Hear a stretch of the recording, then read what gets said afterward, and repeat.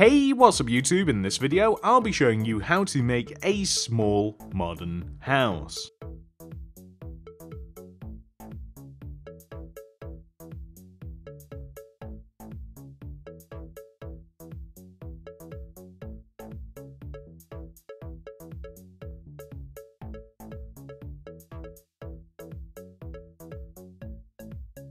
This is the amount of space required to make your build. Feel free to make this grid in your world if you do feel as though it will help you out.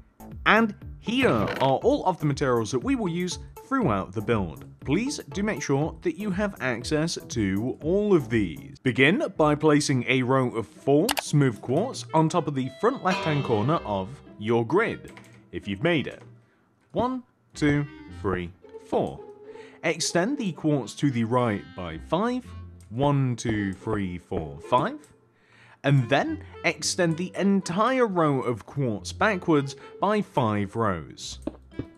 One, two, three, four, five. We then want to connect the back two corners of the quartz row down to the ground, like this. Place glass in between the pair of quartz. We also want to place glass block on the left side of the build as well, joining the front and the back corners together. It's a little bit different on the side as we don't have a row of quartz, but the entire right side of the build wants to be made out of glass block. We then want to extend the glass to the left by two rows, one, two add a row of glass pane inside of this, and this is the lower half of the house. From here, we are now going to work on the upper half of the build. So, grab your smooth quartz block and extend the original row of smooth quartz upwards by three rows. One, two, three. We then want to extend smooth quartz backwards along the left side of the build extending every single one of those blocks back. We then want to extend them across the back of the build by two rows, so one and then two. Place two rows of glass pane, one and two. Then place a row of smooth quartz block. Then we want to leave a gap, and then we want to have a row of glass pane once again. We then want to place a glass block in front of the glass pane extending forwards on top of the smooth quartz. We then want to extend across the front of the build by two rows.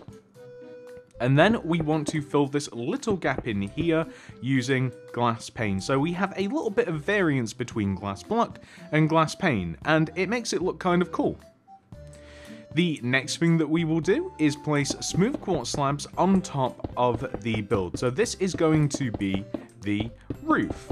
You can also use smooth quartz block, but there's something that I like about the slabs. I think it just makes a nicer shape. So from here, we want to place smooth quartz slabs extending outwards from the entrance to the second floor. I'm going to use two, and from here, we want to leave half a rose gap going down and we want to place a set of cascading stairs using smooth quartz slabs like this. And you will find that as you walk up to them, you kind of just gingerly bounce up them like that. So it works out quite nicely. So next we get to decorate our house a little bit. So I'm going to add a lantern inside of the lower part of the house here.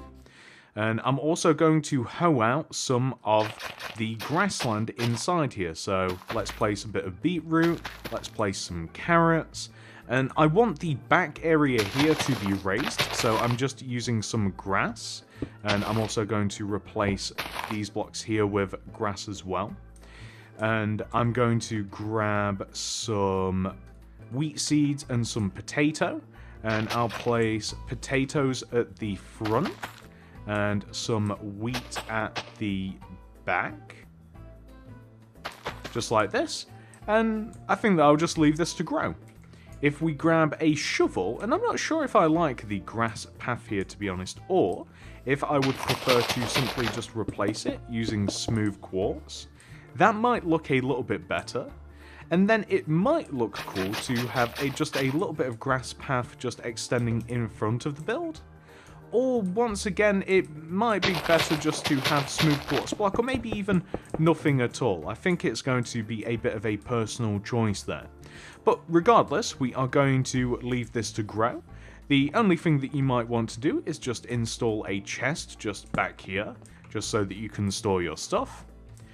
As we climb up these stairs here, this is going to be the main living space, and we need a bunch of stuff for this room. So we need a bed, a chest, we need crafting table, we'll need the lantern again for a little bit of light, some smooth quartz slabs, all of the furnaces, as is my favourite, and we'll grab a painting for now. In this corner, we'll place a chest, crafting table, lantern on top, a bed next to this, and then smooth quartz slabs extending across the top wall here, and we want to place all of the furnaces just on top of the slab. A little painting here next to the furnaces. That's the precise one that I was after, so I'm quite happy about that. And then all we want to grab is an armor stand, a torch, a set of armor which I'm going to carefully place in my inventory before I equip it. So armor stand, Going to place a torch underneath it to give it a little bit of light. And then we will equip it with some gold armor. And if we take a look, that is looking pretty good. I'm almost positive that I do not like this smooth quartz here. So I think I'm going to just replace that. And I also want to replace the yellow and the uh, the blue concrete. So I'm simply just going to go around the building. I'll just have to replace the grass. Going to replace this using the smooth quartz. I think that as the entire house is kind of made out of white quartz and just like clear glass, I think that it might be better to kind of keep it just all white and all clear. I think it would look a little bit weird if we started introducing another material now. So I think that that is absolutely perfect, and hopefully you guys have managed to make that. Thank you so much for watching everybody. If you have enjoyed this tutorial, please do remember to subscribe and click that little bell next to the subscription button. That'll ensure that you get all my videos sent directly to your sub box. And that's it. Thank you so much for watching. I hope to see you in the next one. Goodbye.